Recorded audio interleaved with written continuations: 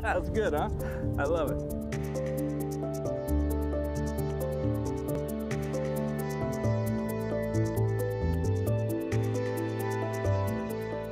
You know, a lot has changed in offshore fishing in the last few years. With the advent of braid, we're now able to use lighter and smaller reels, which makes it a lot more fun for my kids or my smaller customers. Hey, it makes it more fun for me to use a lighter, smaller reel and get more out of the fish.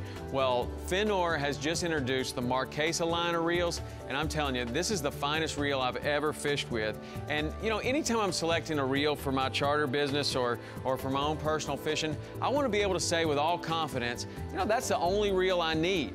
And you know, I don't want to buy, you know, a million different things and only have one or two of them because I've only got so much rod storage on the boat. So I want reels that are going to be incredibly versatile, and that's what this one is.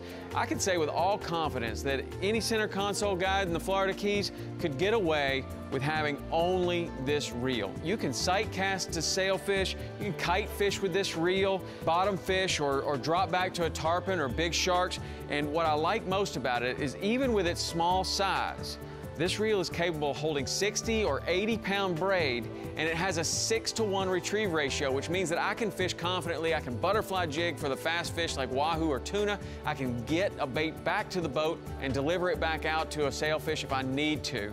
Now, knowing that this reel is virtually limitless in its drag capacity and that it'll hold 60 and 80 pound braid makes this reel the one reel that I feel confident that I could fish any situation in the Florida Keys, really inshore or offshore. When you pick it up, you're gonna recognize the quality immediately. I mean, this is the smoothest reel I've ever had. Go down to Bass Pro, pick one up, ask the guys a lot of questions. I think you're gonna find that this reel is incredibly versatile and it deserves a spot in your arsenal.